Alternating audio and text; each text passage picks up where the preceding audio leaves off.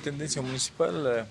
está produciendo el decomiso de más o menos aproximadamente 150 bolsas de fideo de una marca y a consecuencia de la intervención de hace una semana aproximadamente donde eh, se intervino la fábrica, pues ahora tenemos un almacén donde también existía este tipo de fideos, los cuales no pueden ser vendidos a la población.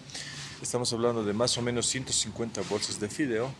y también estamos haciendo el decomiso de más o menos eh, de 150 a 200 bolsas de arrocillo, ¿no? los cuales también no cuentan con registro sanitario y pues no puede ser vendido a la población. En realidad el decomiso de este producto es porque no cuenta con registro sanitario el arrocillo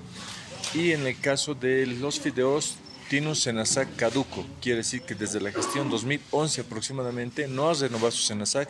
es así que la Intendencia Municipal tiene la obligación de poder decomisar estos productos en más o menos 300, eh, en total unas 300 bolsas entre fideos y rosillo. Estamos hablando de la marca San Pedro, que por lo menos hasta ahora no ha demostrado su legalidad en cuanto al tema del SENASAC, pero esperemos que esto sirva como escarmiento y los señores propietarios o encargados de alguna manera pues tengan que tramitar como corresponde a SENASAC y puedan distribuir con total normalidad este tipo de productos.